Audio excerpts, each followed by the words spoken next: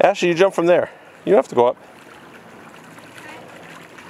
If you want to, you can, but you don't have to.